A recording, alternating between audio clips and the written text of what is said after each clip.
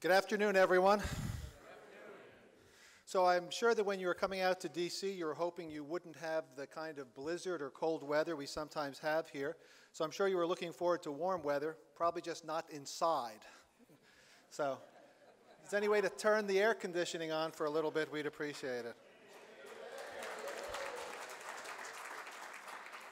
And I'm sure you enjoyed the video, but now you know what it feels like when they're always robbing Peter to pay Paul.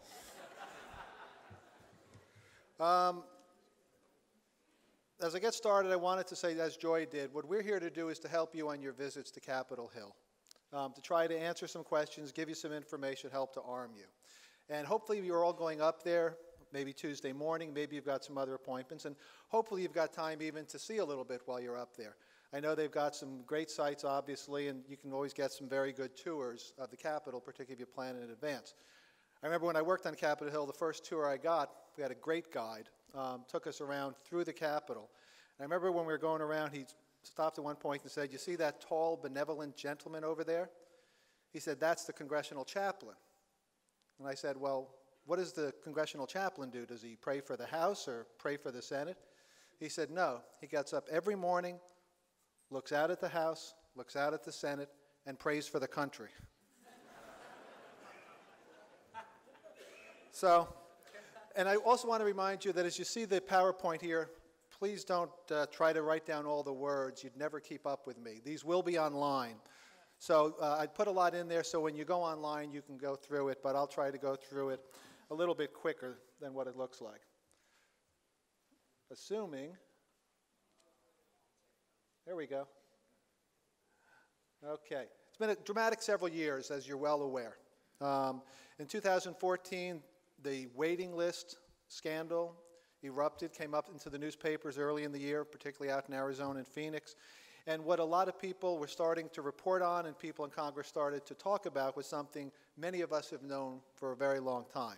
That in fact there were many veterans on lists waiting. Okay? It wasn't a surprise for a lot of us, but it jumped into the consciousness.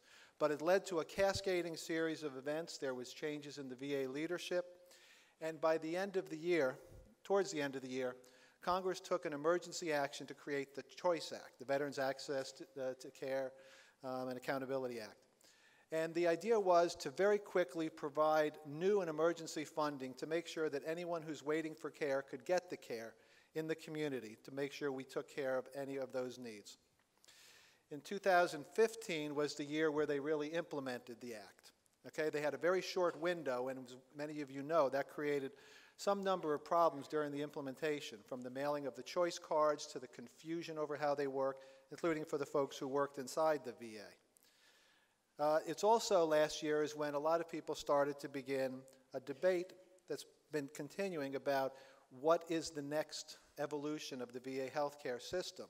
Or, as we'll talk about in a little bit, some of those who think it's time to get rid of it completely, which could be a disaster for those who really rely on the system. So, this year is really going to be the year we're going to find out is Congress going to bring us a new choice plan? Or is there going to be serious reform legislation to take care of the VA and bring it forward to another system that takes care of everyone? But to go forward, we need to understand where we've been. And that's too often the problem is people don't look at what really caused the crisis or what problem we're trying to solve. So let's talk for a couple minutes about that. Some of you may go back a little while and may recall that actually waiting was a lot worse 12 years ago, 13 years ago, 14 years ago. At that point, there was actually at one point over 300,000 veteran, veterans waiting six months or longer for their first appointment. They put together a presidential task force. The task force confirmed from their measure in January 2003 over 200,000 veterans waiting, six months or longer. What they concluded was what we had been saying for years was that's because there's a mismatch, a mismatch between the funds given to the VA and the demand for resources. If you don't line those up, you're not going to have the, the uh, ability to, to take care of those seeking medical care. So for years, the DAV, as a part of the independent budget group that we work with, has been pointing this out. But once again, even though after the crisis they infused some more money, it started to decline. And that's what really contributed to the 2014 crisis. It's very simple. If you don't have enough doctors, nurses, or other providers, or you don't have enough treatment space, you have to put people on lists to wait. It's not the only problem, but you can't solve it without it. As Joy mentioned, there was an independent assessment put together. The independent assessment came to a very interesting conclusion. They said there's a misalignment of demand with resources. So we went from a mismatch to a misalignment. Twelve years later, the same problem, still dogging the VA system. And they talked about you need more resources, you need more doctors, examination rooms, and so forth. And it wasn't just for the, for the personnel, it was also for the infrastructure. They pointed out what we have been saying and what VA's own internal numbers have been saying, which is there's a large gap to take care of the hospitals and the clinics and all of the affiliated structures compared to what VA's been getting. Billions of dollars a year. And until they take care of that, again, you're going to have this problem. And many of you even see it's not even the building. Sometimes it's the parking facilities, you know? Some of you have trouble getting parking spots. I remember hearing a, a story about a congressman on the way to a, a, town hall meeting that he was holding at a, a VA medical center.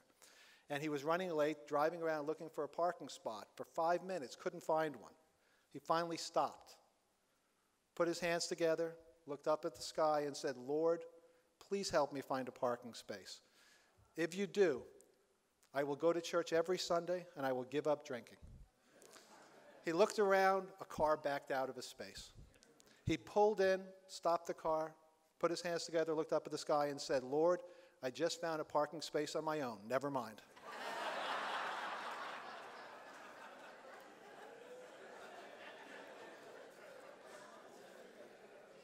But you do know this, these are problems. If you don't have the, the spaces inside and outside, you can't provide the care.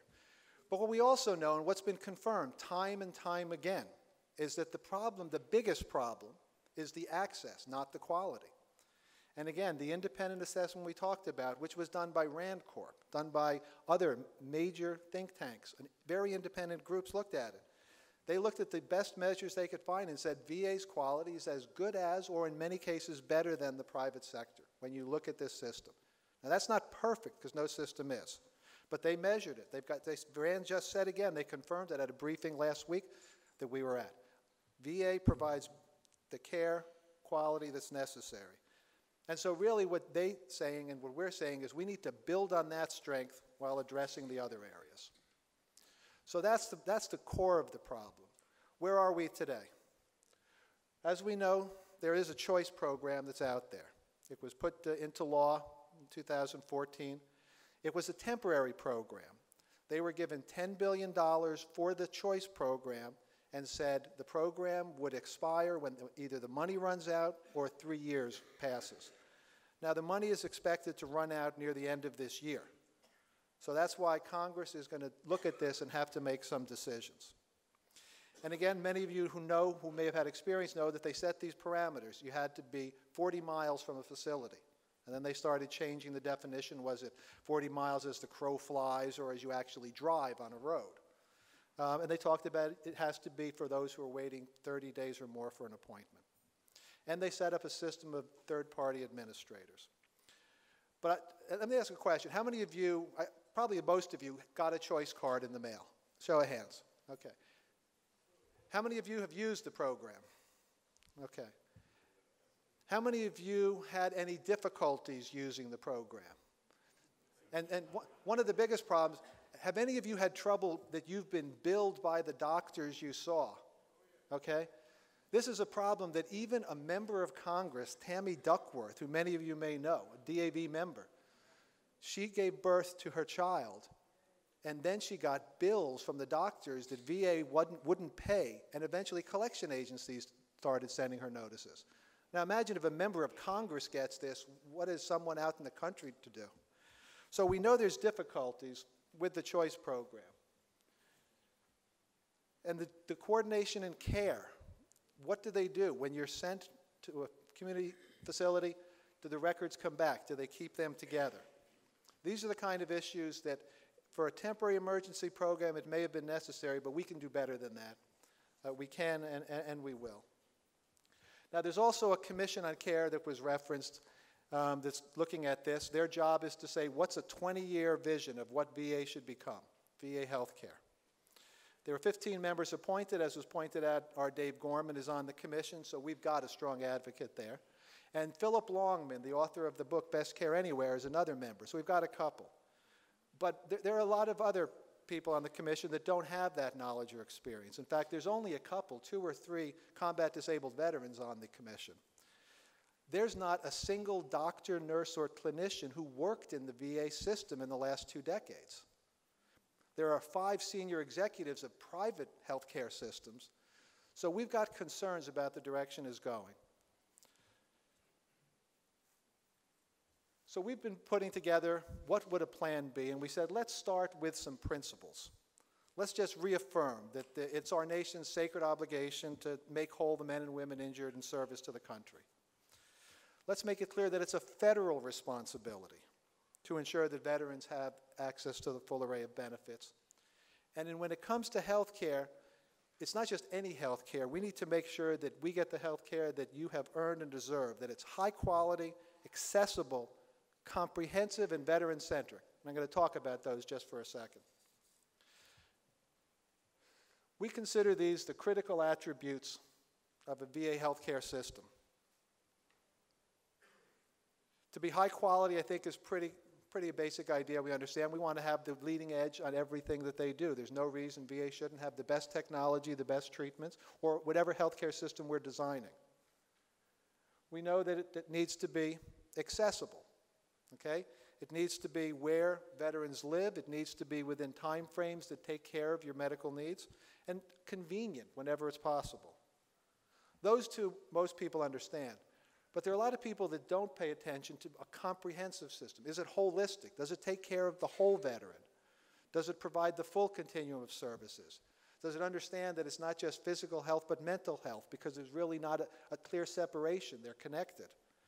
And does it provide the other sort of supports that veterans can get from a system that also has benefits? And it needs to be one that's not just any healthcare system, but that's veteran centric. And there's many important aspects. VA, for example, has doctors who practice veteran medicine. They see veterans all day long. They understand what to look for, what questions to ask. Another healthcare system may be good, but if they have only a very small or no veteran patients, do they ask questions about exposures? If you came in and, and, and you were a recent veteran coming back from Iraq or Afghanistan and you had some sort of respiratory condition, would they ask whether you had been near burn pits? Do they ask these kinds of questions? It's important that it's veterans medicine that we're talking to. And again, the connection between the healthcare and the other systems is very important. So DAV, and we've been working with a lot of our other colleagues and other VSOs to try to build consensus, have looked at a, a plan that we've got four pillars. And I'll go through them again quickly on the next several slides, but it's to restructure, realign, rebuild, and reform. We, people like to do things in groups, so we've got this as our four R's. So what do we mean? Well, we know we need to restructure the way that the community care programs work with the VA system. In the past, it's been the case that uh, there's been some facilities use the fee basis, some facilities started using things like PCCC. These may be familiar to some of you. But there was never a good linkage, and there was never a good set of rules, so that created a lot of confusion. What we need to do is create networks that make sense so that the community care designed to supplement where VA can't be or where VA doesn't have enough uh, facilities need to be put together in a network, but VA needs to be remain accountable for the care, for the coordination of the care, and to be accountable for it, not just putting people out, giving them a voucher, and putting them on their own. To make the system work, we need to realign and make sure that the resources are where they need to be when they need to be. And that's been a problem for years, but we need to do that. We need to make sure that access is consistent across the country. And urgent care is a key aspect that Dr. Shulkin talked about, that we need to make sure that people can see a physician or a provider the same day if they think it's necessary. So we need to create a real system, not emergency care, and not the primary care, the urgent care in between. We've talked about it, but we then we also need to rebuild the VA system where it's fallen down. We need to make sure we've got the doctors and the nurses, make sure that we've got the facilities where we need them, and make sure that the VA research program continues to be as strong as it is. That's the, the, the future of medicine for veterans and becomes the future of medicine for all people in this country. So we've got to make sure that's there. But we also know that money alone won't solve the problem. And so we do need reforms. We need to make sure that budgets actually tie to outcomes. We need to make sure that there's transparency. And we need real accountability. As uh, the uh, Deputy Secretary said, firing people in cases is necessary, but that doesn't solve the problem. We need to make sure that we get the training, we get the problem solved for the veterans. That's real accountability. And we need to make sure we can hire the people we need. Make sure that we can get them in and keep them in VA, the good people, so that they're not pulled away. So our plan is very similar, actually, to the one in many ways that the VA has proposed. And we're not surprised because we were giving them a lot of feedback throughout this process. So the VA plan, which legally had to be called the New Veterans Choice Plan, would consolidate the existing community care programs into a single set of rules, a single set of, of guidance to the field, to the offices, to make sure it becomes a smoother, more consistent experience. They talk about, again, creating a network so that you start with a core of the VA, but you bring in. I mean, why not make sure there's real seamless connection with DoD facilities where you need to share capacity?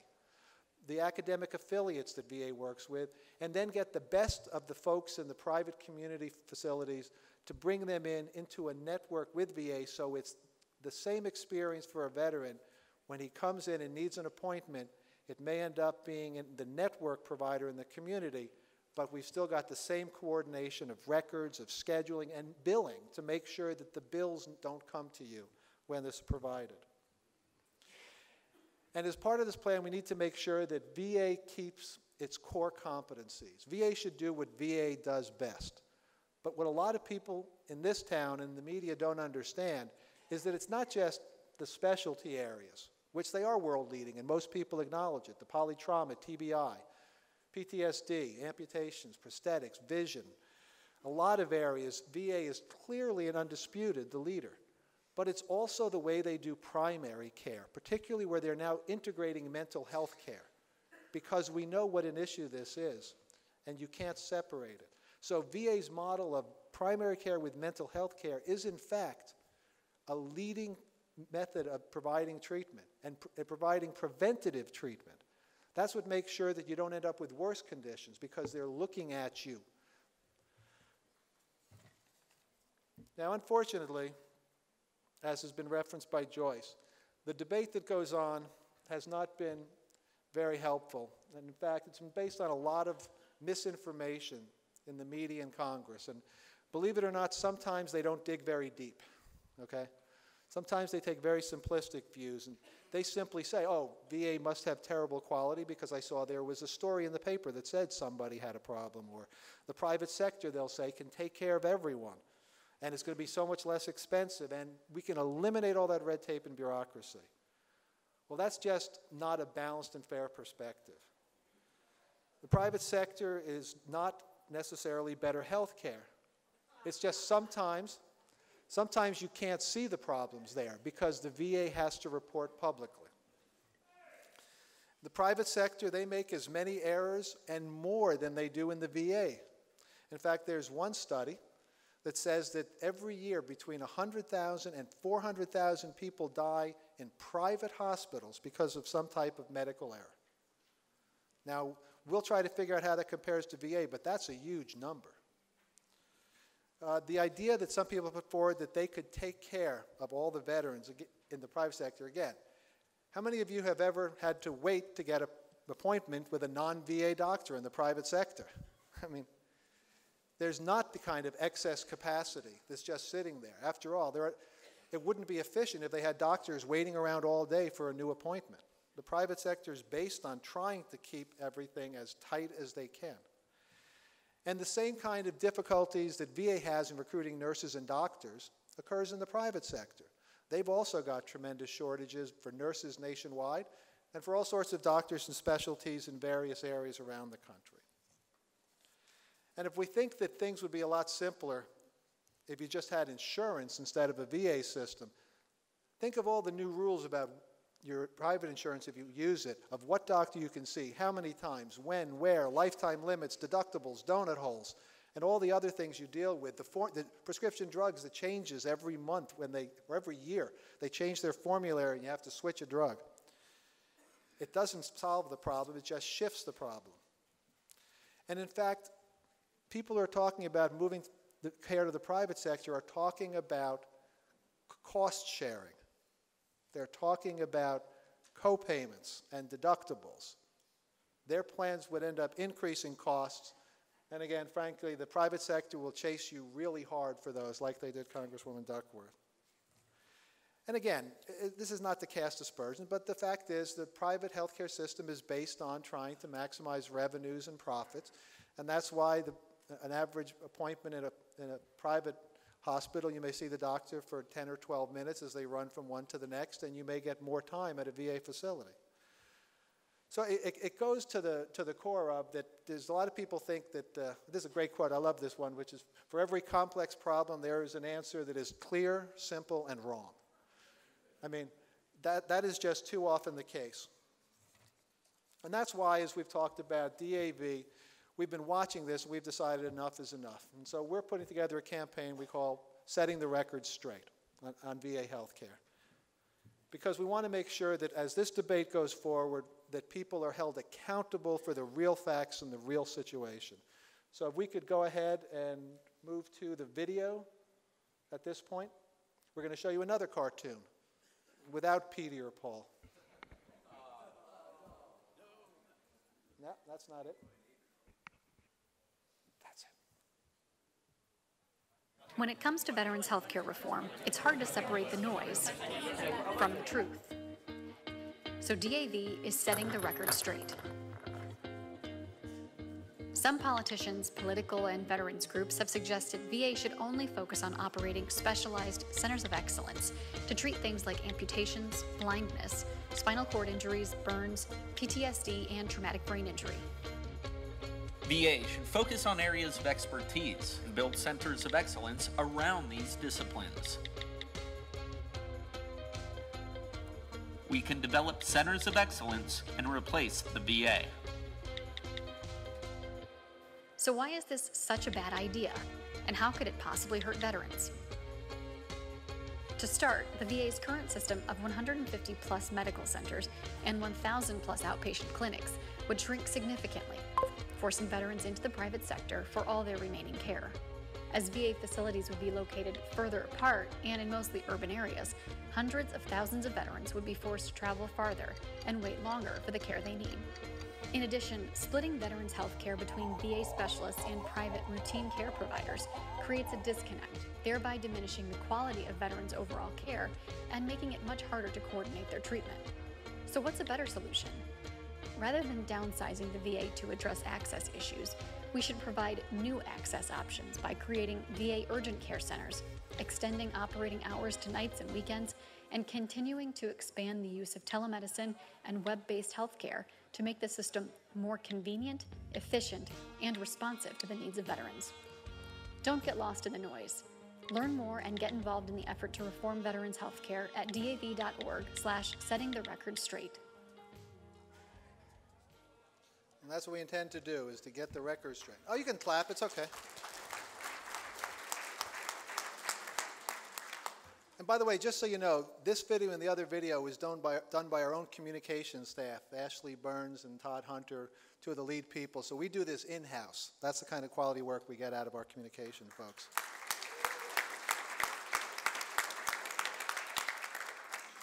So I don't want to go back through this, but again, a simple idea, centers of excellence. VA has lots of them. They have them for polytrauma, they have them for vision, they have them for spinal cord, they have them for mental health, for geriatrics. Clearly, centers of excellence are good, but they exist connected in or within a VA hospital, connected to a network of VA clinics. They don't operate in isolation on their own. And these are the things that we need to make sure that Congress thinks about before they would try to go to a policy like this. So over the coming weeks, we're going to have a number of these to provoke conversation, to start a debate, and to make sure that people, again, who throw out simplistic ideas and that may even have other agendas are held accountable. I'm not going to go through all of these uh, now, but Why are vouchers a bad idea? I think some of you understand that already, but again, it starts to put a situation where you end up uh, saying that veterans are on their own. If you live in a rural area of the country, it's not just that VA is remote, sometimes there's no medical facilities or specialties that are near you. So it's not a solution. It also starts to, again, lead to problems with the coordination of care. And again, we're going to offer solutions. We think if you want to increase access, it's not vouchers, it's by changing the way you access, by building the network and putting the decision in the hands of veterans and doctors. When you leave a VA facility, you should have your next appointment based on what you and the doctor decide, not on what some scheduler decides. That's the way it is when you go anywhere else. If you need to be seen in one hour or one day or one week, that's the standard, not 30 days as they try to do now. Uh, we talk about treating only service related conditions, or some people only combat wounds. Again, they think that's a way to core down what VA should be doing.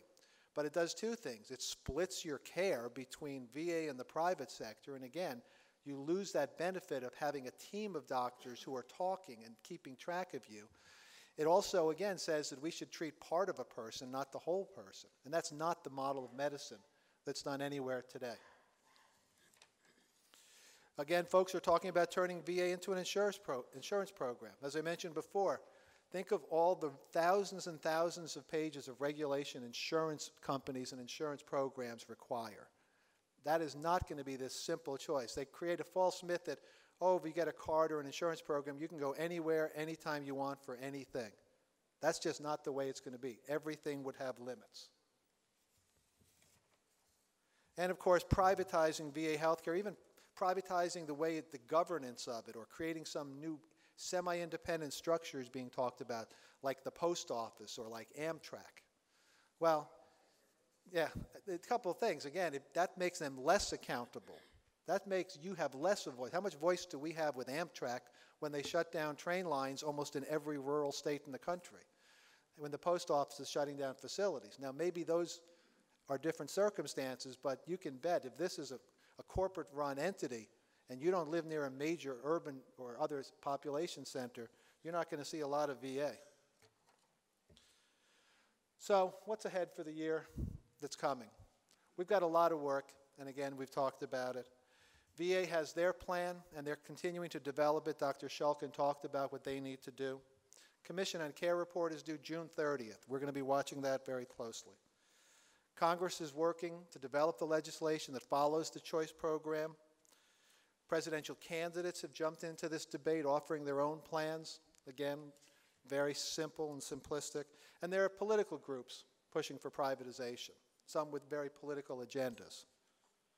So we're going to need to get through this. We know that the year ahead, there'll be partisan battles in Congress. There'll be the typical gridlock and finger pointing that happens. So that's going to slow down what happens. And we know that since it's an election year, that it's going to be a very shortened calendar. Um, and again, in an election year, it gets a little rough out there, so it can sometimes be hard to make good policy. But we are going to need you up on the Hill. And again, Washington's a great town to walk around, especially Capitol Hill, because sometimes you just cross in the street and you run into your congressman or senator and you get the chance to talk to them. In fact, again, I'm reminded of a story of a barber um, who would see people coming in. A priest would come into the barber shop same day, and a couple days later, a policeman. I mean, he told the story about the priest coming in. The priest goes in, gets his hair cut. When the priest is done, he says, How much? And the barber said, No, that's okay. I don't need anything for you. I, I do this for the good of, of, of the, our community and the work you do. The next day, the barber found on his front door a dozen prayer booklets and a letter thanking him. A couple days later, a policeman came in. Got his hair cut when he was done. He said, How much do I owe you? And the barber said, No, that's nothing. The work you do to keep us safe in our community, I don't want anything. And the next day, the barber came back and he found a dozen donuts and a nice note from the police officer. A few days later, a senator came in.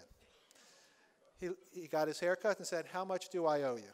And he said, No, the work you're doing for our country, I don't want any payment. The next day, the barber came in. There were 12 more senators lined up. so, With the Academy Awards a week away, of course, it's always good to ask what's the difference between Congress and Hollywood? Hollywood only had three stooges.